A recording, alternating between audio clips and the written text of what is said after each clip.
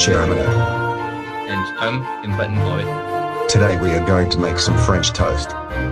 Let's go over to the cooking area right now.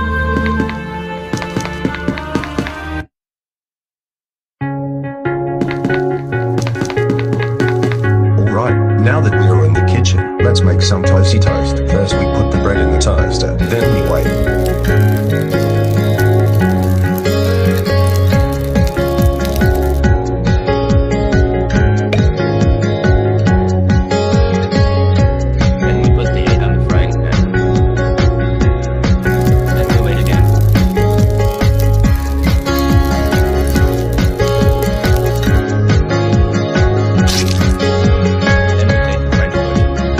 Wait, I don't think that's in the rules in making French toast. Of course it is. I looked it up. I don't think it.